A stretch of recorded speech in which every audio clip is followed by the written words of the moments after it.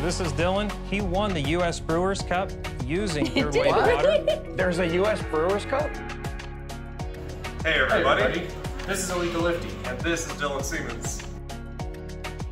We love third wave water. I used third wave water in 2017 with the Kalita Wave to win the US Brewers Cup championship. And I used third wave water with the Kalita Wave to win the U.S. Cup Championship in 2020. Yeah, we love third wave water. I use it at home still all the time. I buy uh, distilled water every time I go to the grocery store. And make coffee pots with it. I use it at home. I like to use it at its standard strength of 150, or I like to dilute it down to like 90 or 100 for really light roast coffees, um, or if I just want to like manipulate my coffee a little bit more. I just love how much you can customize and consistency you get with wave water. Cheers. Cheers.